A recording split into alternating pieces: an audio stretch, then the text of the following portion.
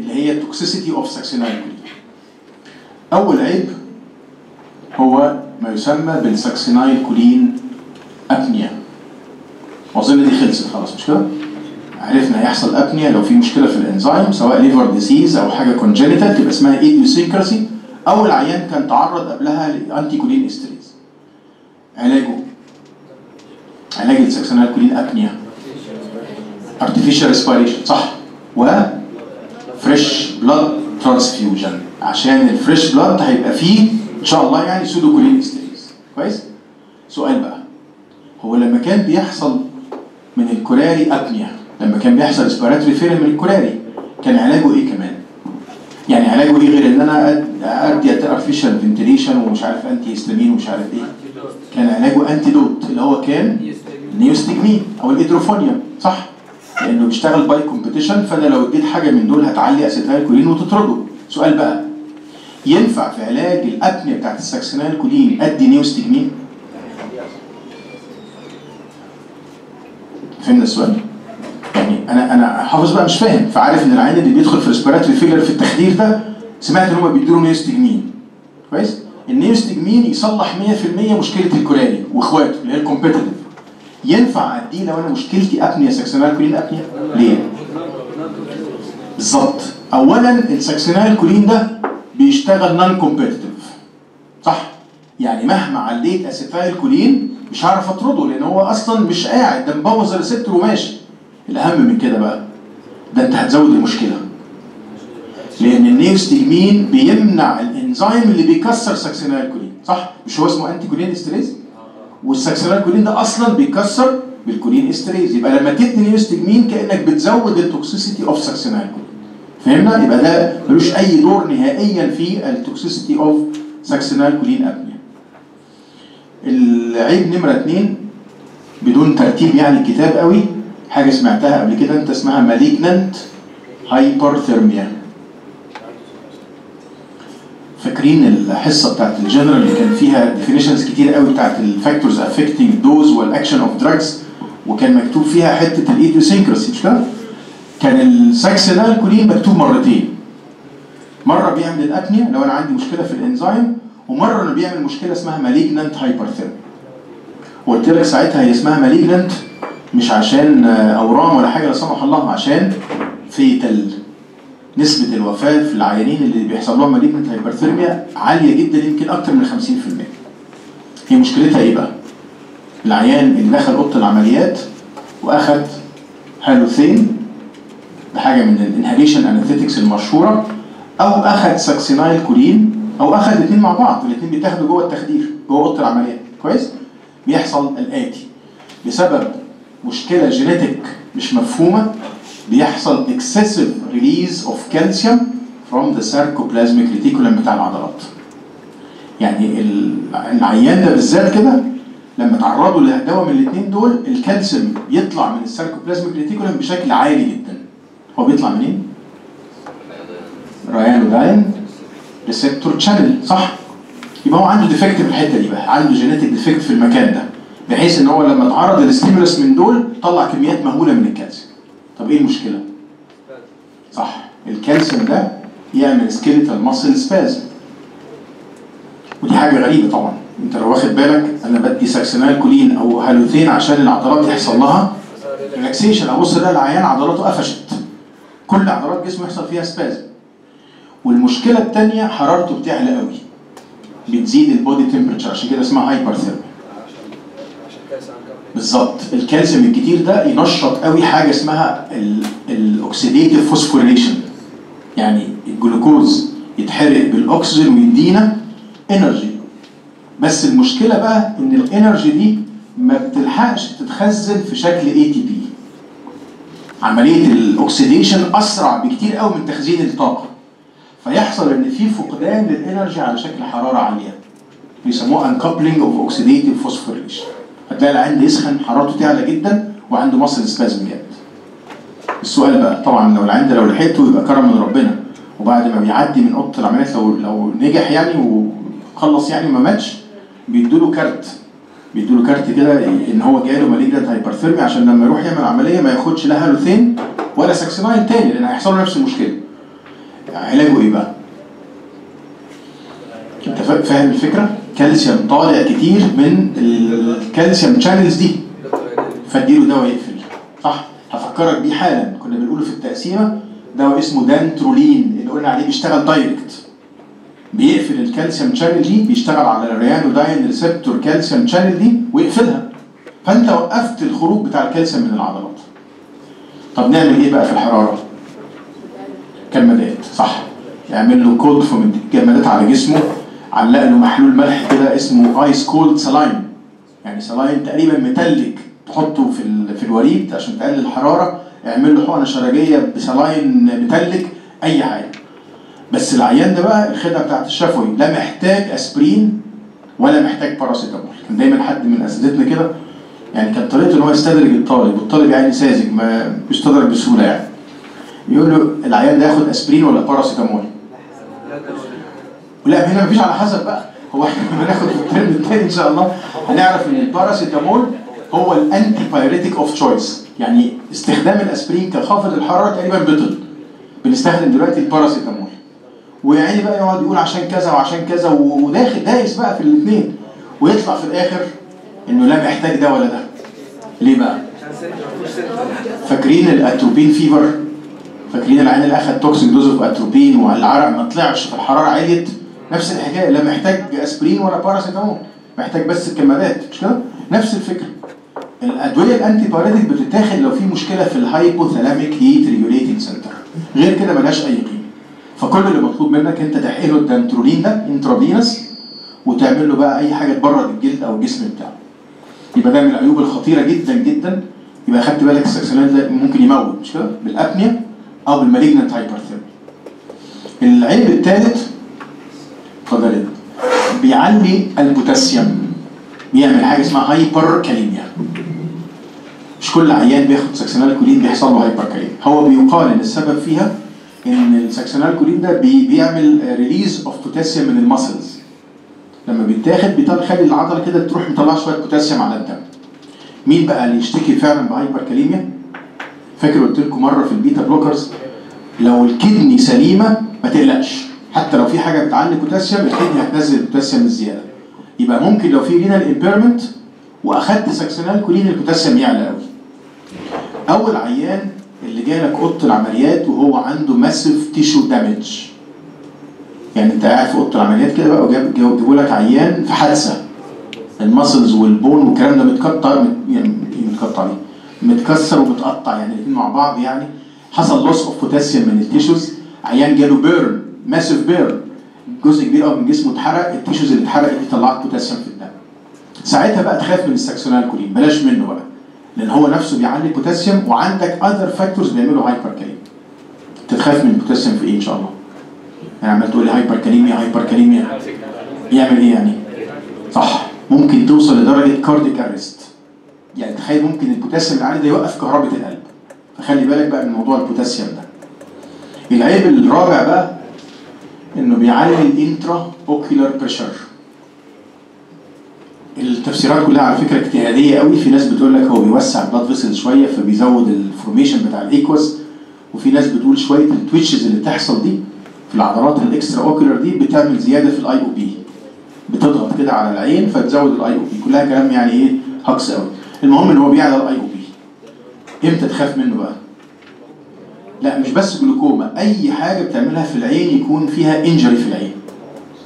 يعني لو جالك عيان عنده حاجة اسمها ruptured globe يعني damage كده في في العين لو أنت مزود ضغط العين ال contents بتاعت العين بتفقد. تلاقي العين حصل فيها حاجة اسمها vitreous prolapse والعدسه ساعات طلعت لبره وتقعد تلم بقى مش عارف تلم. فبلاش تديهم في الناس اللي عندهم injury في العين. عملية جراحية بلاش succinylcholine لو في eye damage بيعلي حاجة اسمها ال intragastric pressure يعلي ال pressure جوه المعدة مش كده؟ برضه تفسيرها آه، غريب شوية. لما بتديه يعمل contraction شوية في الأول بيزود ال tone بتاع ال abdominal muscles ال external abdominal muscles بتنقبض شوية فقال إيه بقى؟ بتروح ضغط على ال stomach لما تضغط على ال stomach يحصل إيه؟ يحصل vomiting صح. عشان كده تخاف منه إن يعمل aspiration بعد كده. لو العيان تحت تخدير وما كنتش مصيمه انت كويس مش محضره كويس وكان واكل مثلا لو حصل vomiting ممكن يحصل aspiration بعد كده. فبلاش منه في الناس اللي انت مش محضرهم جراحيا كويس. آه، بيعمل حاجة اسمها postoperative muscle pain دي حاجة مؤكدة على فكرة يعني دكاترة التخدير يلاحظوها قوي بعد ما العيان يفوق من أوضة العمليات بقى ويخرج يشتكي بألم في العضلات. وبرضه بيقال إن السبب فيها شوية ال twitches اللي حصلت في الأول عملت muscle pain يعني. يعالجوها إزاي بقى؟ ودي مكتوبة على فكرة في الكتاب بس في الآخر كده. دكاترة التخدير قبل ما يدي succinylcholine يدي جرعات صغيرة قوي من الكولاري واخواته. من ال competitive قبل ما يدي succinylcholine يدي small doses of competitive neuromuscular الفكرة إيه بقى بالظبط كده؟ كأنه بيمنع المرحلة الأولى من شغل ال succinylcholine صح؟ فاكر انت phase 1 اللي هو بيشتغل زي ال acetylcholine الزياده يعمل twitches وبعدين يخلي ال receptor في حالة sustained depolarization هو بي بيستبعد المرحلة دي. ما بيخلوش يحصل muscle twitches فدي تقلل قوي ما يسمى بال postoperative muscle ده بتهيألي الحاجات اللي موجودة عندنا في الكتاب. كتاب القسم بس يعني لسبب أنا مش عارفه قوي. حاطط ال respiratory failure لوحده وبعدين حاطط ال succinylcholine apnea لوحدها. هي هي مش كده؟ يعني فكرة إن هو عمل respiratory failure هي اللي تسمى succinylcholine apnea وأنت عرفت الأسباب وعرفت العلاج وكل حاجة. الجزء بتاع ال drug interactions ده مش بقى succinylcholine بس أي دواء neuromuscular blocker لو أخدت معاه inhalation anesthesia اعمل حسابك إن الاثنين مع بعض بيقللوا ال muscle tone مش كده؟ لسه قايلين. التخدير الكلي أصلا لوحده بيعمل skeletal muscle relaxation فالاثنين مع بعض يبقى لهم نفس التأثير على العضلات. آه، أسامي التخدير مش عليك قوي بس هو في كذا اسم كده مكتوبين في الكتاب. دواء اسمه isoflurane ودواء اسمه desflurane و enflurane و sevoflurane و halothane. كل دول اسمهم halogenated general anesthetics بيتاخدوا عبارة عن غاء عبارة آسف عن volatile liquid بيتشم كده زيه زي الغاز ويعمل تخدير كلي. بيعملوا مشكلة في العضلات أو بيعملوا skeletal muscle relaxation فبيقووا شغل الأدوية اللي هي زي ال skeletal muscle relaxant أقل واحد بيعمل اسمه nitrous oxide لأنه مش تبعهم على فكرة. ال nitrous oxide ده غاز مختلف خالص عن ال halothane وال enflurane وغيره. ده أقل واحد يعمل skeletal muscle relaxation عرفنا بقى ال aminoglycosides خلاص خلصنا منها بقى بتقلل ال release. وعرفنا إن ال succinylcholine ممكن اتجنب مشكلته إن أنا أدي جرعات صغيرة من ال competitive أو ال non-depolarizing neuromuscular blockers وافتكرنا ال myasthenia gravis واتفقنا إن هي ممنوع إن أنا أدي فيها أي skeletal muscle relaxant الجدول ده ما فيهوش أي معلومة جديدة خالص. هو مقسم الأدوية كده بنفس التقسيمة ال isoquinoline derivatives ومديك أساميهم. آه، خلي بالك بس الحاجة المشتركة اللي أنا قلت لك عليها كذا مرة في ال isoquinoline إن كلهم بيعملوا histamine release يعني في الجدول كده هتلاقي مكتوب moderate ومش عارف إيه و moderate و slight افتكر إن كلهم بيعملوا histamine release مجموعة ال steroids ثلاث أسامي اللي إحنا قلناهم. الحاجة المميزة فيهم قوي إن هم بيقفلوا ال M2 receptors الميزة بتاعتهم ما بيطلعوش هيستامين لكن العيب إن هم بيعملوا tachycardia by blocking لل M2 ال gallamine ده عرفنا إن هو أقوى واحد يقفل ال M2 وال succinylcholine ده شرحناه بالتفصيل. وكاتب بقى على جنب كده مين بيحصل له elimination لو أخدت بالك معظم الأدوية دي معتمدة mainly على renal معظم أدوية ال skeletal muscle relaxants معتمدة على kidney function ال exception في كده لو أنت فاكر ال spontaneous اللي هو بتاع هوفمان ده ال atracurium وال cisatracurium وال mivacurium اللي بيتكسر بال pseudocholinesterase. دول اللي مش معتمدين بقى على على kidney function آخر مجموعة بقى إن شاء الله الجزء بتاع ال spasmolytic drugs بس أنا مش عارف أنت فاهم قصدي يعني إيه spasmolytic ولا نسيت؟ صح. أعلى مجموعة اللي هي سنترال ومعاهم اللي بيشتغل direct اللي هو اسمه dantrolene ده المقصود بال anti-spasticity أو spasmolytic drugs هو كتاب القسم بس بدأ في الأول يقول لك كده إن skeletal muscle spasticity تحصل معناها إن في tone عالي قوي في ال في ال زيادة في ال stretch reflex بتاع العضلات وال muscles ال flexor بتبقى فيها contraction عالي. ومع ذلك في muscle weakness الواحد ما بيعرفش يعمل مجهود وساعات حتى بيبقى عنده شلل. بيحصل نتيجة إيه بقى ال muscle spasm ده؟ هو كتاب القسم قايل كلام حلو قوي بس أكتر أو the most common causes لل muscle spasm يا إما ال trauma العيال يتخبط. أي واحد فينا بيتخبط في مفصل أو في عضلة بيحصل reflex spasm على طول. أو يكون السبب arthritis يعني يكون حصل التهاب في المفاصل لأي سبب بقى. بقية الحاجات بقى دي أمراض خطيرة بقى. يعني تلاقيه كاتب لك مثلا من ضمن أسباب ال muscle spasm حاجة بنسميها cerebral palsy دي موضوع كبير جدا في الأطفال بقى. إن شاء الله تاخدوه بالتفصيل. بيحصل مشكلة في ال brain development سواء أثناء الولادة أو بعد الولادة. بيأثر على الحركة الإرادية وبيأثر على الكلام وبيأثر على ال mental activity يعني مشكلة كبيرة يعني. ممكن يكون سبب ال muscle spasm حاجة اسمها multiple sclerosis ال MS ده مرض فظيع يعني. هو ده autoimmune disease على فكرة. يبتدي يحصل مشكلة في ال myelin sheath بتاع الأعصاب وبيبان أعراض بقى على حسب العصب اللي باظ. يعني لو هو motor nerve هتلاقي فيه مشكلة spasm لو هو autonomic nerve لو هو sensory وهكذا. آه ال stroke عشان لما تقراها بس في الكتاب ال stroke مقصود بيها أي حاجة بتحصل في ال brain يعني سواء cerebral hemorrhage أو cerebral thrombosis دي مقصود بكلمة stroke غالبا ال stroke بيعمل paralysis مش كده يعني أي واحد يجي له جلطة في المخ أو نزيف غالبا بيجي له flaccid paralysis بس في مرحلة في الأول بيحصل فيها spasm ونفس الكلام ال spinal cord injury فاكرين حاجة اسمها shock stage في ال spinal cord injury في البداية خالص بيحصل muscle spasm بعد كده بيحصل paralysis العضلات أي حاجة من دول بقى محتاجة إن أنا أعالجها ب spasmolytic drugs طيب مين بقى هم ال spasmolytic drugs دول؟ على مهلنا كده إن شاء الله وربنا يستر في الأسامي. أول واحد مكتوب اسمه الدايازيبام كويس؟ الفكرة بتاعت الدايازيبام معتمدة على ان أنا اقوي شغل ال GABA.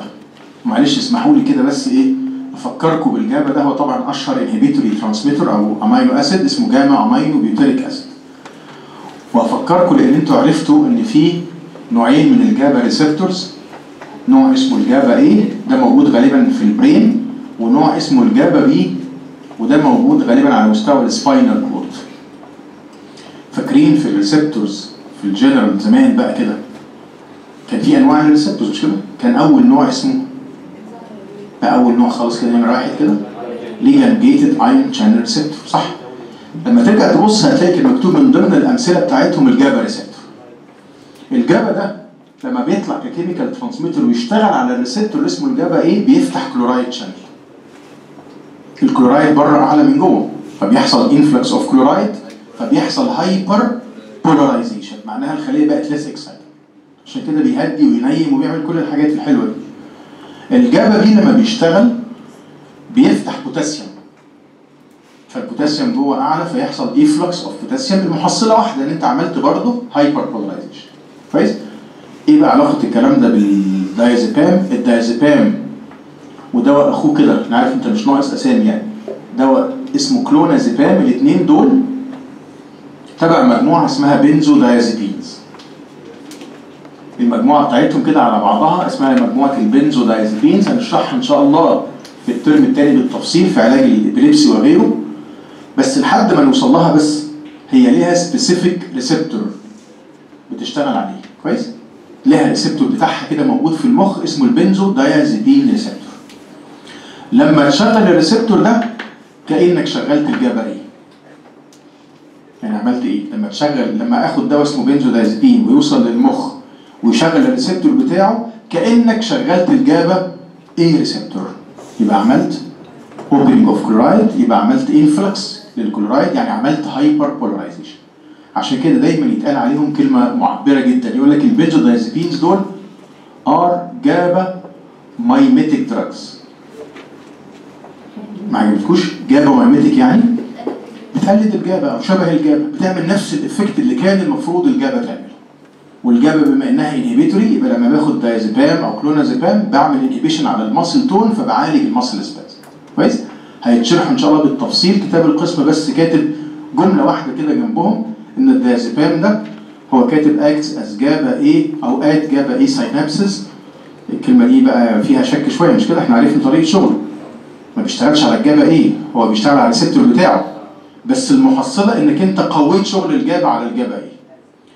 بيعمل بقى مليون side effect هو كاتب بس كده ال sedation آه الدواء نمرة اثنين اسمه ال baclofen.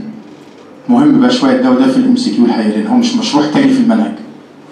ال baclofen ده بيشتغل ك agonist على ال GABA B receptors موجودة فين ال GABA B دي؟ spinal cord ولما تشتغل بتفتح بوتاسيوم فبتعمل efflux فبتعمل hyperpolarization فتخلي ال muscle tone أي حاجة بقى في ال spinal cord دي بتقل بما فيها ال stretch reflex وال spasm بتاع العضلات. إيه ال- الميزة في ال baclofen بقى؟ إن ليه analgesic effect فاكرين؟ آه بالظبط كده. فاكرين ال gate theory بتاعت ال pain بتاعت زمان دي؟ لما تيجي إشارة كده من بره وتطلع في ال spinal cord بيطلع مادة اسمها substance P بقى اسمها في الطب حاليا اسمها neurokinin 1 اللي مكتوب بين قوسين في الكتاب ده. ده كأنك فتحت بوابات ال pain فالإشارة وصلت لحد المخ. حسيت بالوجع. المورفين وإخواته بيقفلوا. ال gates of pain دي عن طريق إنه يمنع خروج substance P ال baclofen بيعمل زيه بقى. يعني ال baclofen فيه شبه شوية من شغل المورفين إنه مسكن عن طريق إن هو يمنع خروج مادة بتنقل الإشارة بتاعت الألم اللي اسمها substance P أو ال neurokinin 1 آه العيب بتاعه طبعا بيعمل drowsiness بس بيحصل معاها tolerance المعلومة الأخيرة في ال baclofen محتاجة توضيح. كل أدوية علاج ال epilepsy كل ال antiepileptic drugs ما ينفعش نوقفها فجأة. بالظبط. أي عيان عنده صرع وعايزين نوقف الدواء بنقعد نوقفه له على مدى سنتين ثلاثة نعمله gradual withdrawal. كويس؟ لو وقفت دواء الصرع فجأة أو أي دواء من الأدوية اللي بتعمل CNS كده لو وقفته فجأة يحصل حاجة اسمها rebound effect يعني يدخل في نوبات صرع أسوأ من اللي كانت بتجيله. بما إن ال baclofen ده شبه ال GABA أو بيشتغل زي ال GABA فلو وقفته فجأة في عيان عنده صرع يحصل مشكلة زيادة في ال seizure activity مفهوم قصدي يا جماعة؟ لأن كتاب القسم مش موضح. هو كاتب لك إنه بيعمل increased seizure activity in epileptic patients. full stop لما تقرأ الجملة دي لوحدها دي غلط. لأن هو أصلا inhibitory فمش ممكن يكون بيزود نوبات الصرع هي الفكرة بقى اللي هي بقية الجملة إنك أنت لو عملت sudden withdrawal يحصل كده وبالتالي withdrawal should be gradual. لما أجي اوقف الباكلوفين ده في عيان صرع لازم أوقفه بالتدريج. آه، الدواء نمرة ثلاثة ده سمعناه بقى. آخر حصة قعدنا نتفسح كده في المنهج مش كده؟ نروح ونيجي. ده كان واحد من الألفا 2 agonists كان أخو الكلونيدين بس كان بيشتغل mainly على الألفا 2 اللي موجودة في ال spinal cord فيقلل ال reflex بتاع ال stretch وال muscle spasm اسمه تايزانيدين وحتى قلت لك ساعتها إن عيوبه شبه قوي عيوب الكلونيدين بيعمل dry mouth وبيعمل sedation أو drowsiness ويقلل الضغط شوية فيبقى ده خلاص إن شاء الله خلصنا منه. الدواء نمرة أربعة اسمه الجابا بنتين وتحته على طول دواء كده اسمه بري جابالين لو أخدت بالك من الأسامي الأسامي دي كلها هتيجي بالشبه إن شاء الله. يعني آه، كده بالحب يعني. الجابا بنتين والبري جابالين فيهم إيه في في النطق بتاعهم يعني؟ جابا بنتين صح. وبري جابا لين يعني فيهم GABA ما دام فيهم GABA يبقى بيعملوا زي ال GABA بيشتغلوا على ال GABA receptors هم طبعا أصلا أدوية صرع برضه. أدوية epilepsy. بس لقوا إن هم لما بيتاخدوا بيقللوا ال tone بتاع العضلات بنفس فكرة ال GABA receptors الموجودة في ال spinal cord وغيرها. آه، أنا بس قلت لهم الصبح إن البري جابالين ده أنا كنت فاكرهم برضه هيفرحوا ما فرحوش خالص. البري جابالين ده ليه اسم تجاري ما أعرفش أنتوا عرفتوه عارفين ولا لأ ده اسمه ليريكا. الليريكا ده بقى يعني من أكتر الأدوية مبيعا في الكام شهر كده والكام سنة الأخرانيين ده اسمه تجاري طبعا مش عليك اللي هو البري جابالين ده. ده بيتاخد عشان يعالج ال skeletal muscle spasm وبما إنه شبه ال GABA فبيعمل حاجات حلوة قوي بيهدي وينيم. بالظبط كده. ويقلل ال pain شوية. فبقى من الادويه المشهورة جدا دلوقتي حتى الناس اللي ما عندهاش مشاكل خالص في العضلات تيجي بالليل كده تاخد لها قرص ليريكا ده عشان يعمل زي يعني يزود الأكشن بتاع ال GABA فيعمل relaxation وينيم نوم كويس كده ولطيف يعني. ال- الدواء اللي اسمه البروجابايد برضه كده في حتة شبه ال GABA مش كده؟ بيشتغل ك agonist على ال GABA A وال GABA B receptors ال- الجلايسين ده مش محتاج شرح بقى. الجلايسين هو نفسه عبارة عن inhibitory amino acid فصنعوه على شكل دواء بالظبط كده. وبيتاخد oral وبيعدي ال blood brain barrier وبيعمل نفس ال inhibitory effect بتاع الجلايسين. نيجي بقى للحتة الجميلة بقى اللي فيها الأسامي ال- ال- الفل بقى. فل الفل بقى الأسامي اللي جاية دي. الدواء نمرة سبعة. دواء اسمه cyclobenzaprine cyclobenzaprine كويس؟ كتاب القسم قال معلومات ما تدلش على أي حاجة جديدة. قال لك إن هو بيعمل inhibition لل muscle stretch reflex يعني anti spasticity زي إخواته اللي فاتوا. وبيعالج ال acute spasm برضه زيهم. و liver metabolism ما تفرقش معانا في حاجة. ما قالش ال mechanism of action قالش ال mechanism of action أنا عارف طبعا أنت بدل مش ما قالك يبقى أنت مش مطلوب منك يعني. بس أنا هقوله معلش. الدواء ده تركيبته الكيميائية عبارة عن tricyclic antidepressant إيه آه اللي أنتوا قلتوها دي؟ آه yes يعني إيه؟ يعني فهمت إيه لما قلت لك إنه tricyclic antidepressant يعني؟ عارف بيشتغلوا إزاي أصلا ال tricyclic antidepressant دول؟ صح. ال tricyclic anti في علاج الاكتئاب إن شاء الله في الترم الثاني بيعملوا inhibition لل neuronal uptake بتاع ال noradrenaline وال serotonin. يعني دول بيطلعوا من ال nerve والمفروض هم بيرجعوا تاني بال transport system مش كده؟ ويدخلوا جوه ال nerve بقى وربنا يسهل لهم اللي هيستخبى جوه ال vesicle واللي هيتكسر بال MAO وغيره. ال tricyclic antidepressants بيعملوا inhibition لل neuronal uptake بتاع المواد دي. فلو أنا مكتئب ال monoamines دي هتعلى عندي فالاكتئاب هيتصلح. علاقتهم إيه بقى بال muscle rigidity لقوا ان المواد دي بالذات ال norepinephrine ده ليه inhibitory effect على ال stretch reflex لما تعلي norepinephrine في ال spinal cord كأنك أنت عملت inhibition لل muscle tone مفهومة؟ يبقى بما إن هو شبه ال tricyclic فال mechanism بتاعه هو هو بيعمل elevation لل norepinephrine عن طريق يمنع neuronal uptake اللي فينا لسه في نفس يعني tricyclic anti دول كان لهم very powerful atropine like action. صح؟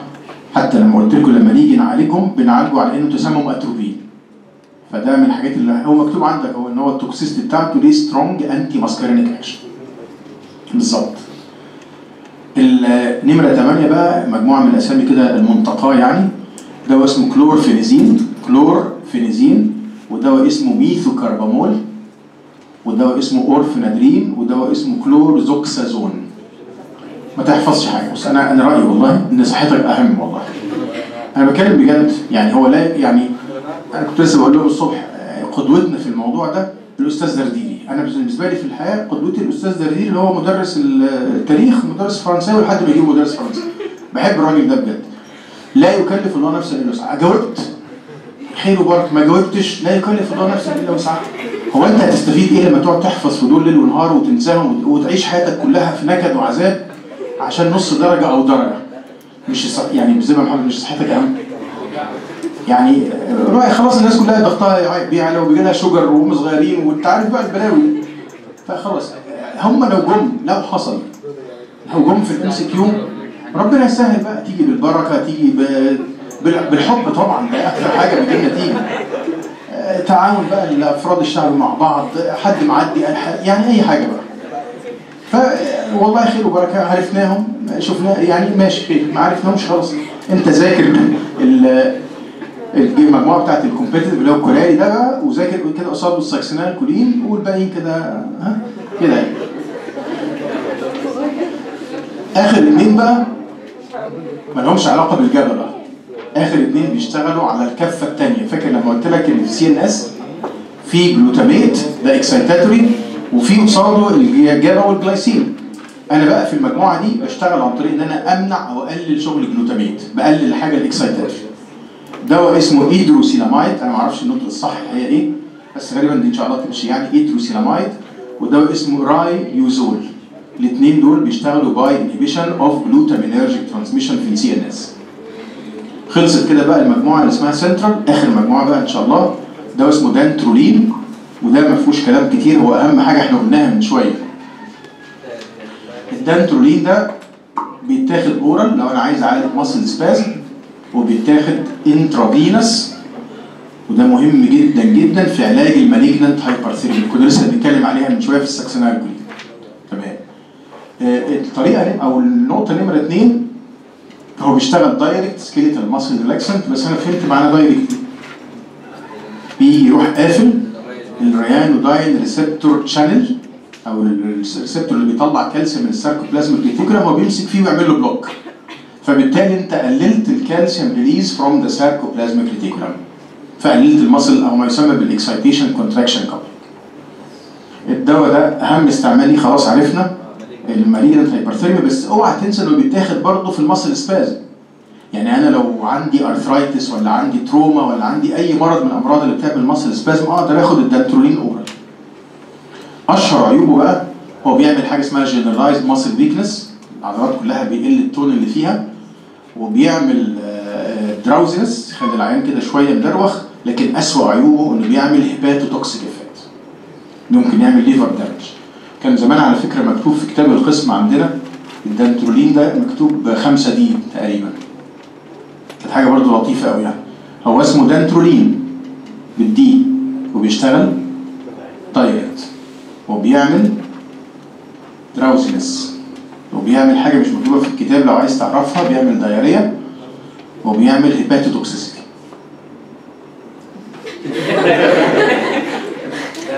بالظبط damage of the هي هي.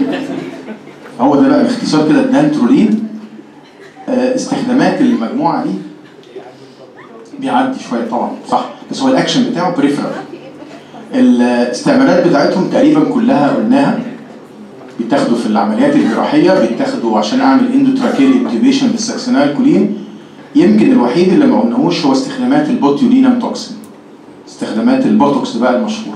هو في استخدام مش موجود في الكتاب بس هو أهم استخدام أو مش أهم يعني أقصد ده most common بالظبط. بتاخدوه في عمليات التجميل مش كده؟ بتضحكوا ليه؟ على فكرة كل ما قلت تجميل الناس بتضحك. والله ما بقاش قصدي حاجة والله. بيتاخد في عمليات التجميل ودكاترة التجميل وتحية لجراحين التجميل وكل حاجة. بيتاخد local كده عشان يعالج حاجة اسمها facial wrinkles التجاعيد بتبقى نتيجة إن بيحصل نوع من ال spasm أو ال contracture في العضلات بتاعة الوجه. فبيحقنوا الدواء ده عشان يفك ال spasm شوية. الاستعمالات اللي موجودة في الكتاب هي بس عشان صعبة طبيا شوية. بيتحقن في العضلات ال- ال extraocular اللي حوالين حوالين العين دي عشان يعالج حاجة اسمها blepharospasm blepharospasm هي blephar دي blephar دي معناها eyelids و spasm معناها واضح بقى إن بيحصل في بعض الناس هتاخدوها إن شاء الله في الرمد السنة الجاية. بيحصل spasm في ال eyelid muscles فتلاقي الجفن بتاع العين يا إما قالب لبرة كده يا إما قالب لجوه. حاجة اسمها ectropion و entropion وكلام جميل كده في الرمد. بيحقنوا ساعتها بقى البوتوكس عشان يقلل ال spasm اللي موجود. بيتاخد في حاجة في العين برضو اسمها strabismus. strabismus اللي هو ال squint. وال squint اللي هو الحول الحول ده مشكلته إن في عدم تناسق في ال contraction بتاع العضلات. في عضلات أقوى من عضلة. هتلاقي العين فيها مشكلة في توجيه ال extraocular muscles بيتاخد في ال lower esophageal sphincter لو عندي spasm فيه مرض بيسموه ال achalasia بيبقى spasm جامد قوي في ال esophagus أو في ال lower sphincter فبيحقنوا ال- البوتوكس عشان يفك ال spasm اللي موجود. هو ال achalasia دي بتعمل العرض إيه؟ يعني هيجي العيان لك بإيه؟ regurge وحاجه كمان أكتر. dysphagia يعني ما بيعرفش يبلع. يعني العيان بيجي يبلع ما بيعرفش إن في spasm في ال sphincter ده. آه، بيتاخد بقى في علاج أي حاجة فيها muscle spasm زي ما قلنا مثلا من شوية ال cerebral palsy يبقى ده بالنسبة لنا كده استعمالات ال botulinum toxin آه، بالتالي قلنا كل حاجة إن شاء الله ما فيش حاجة نسيناها. إن شاء الله بكرة بقى هنبتدي في الجزء بتاع ال protocols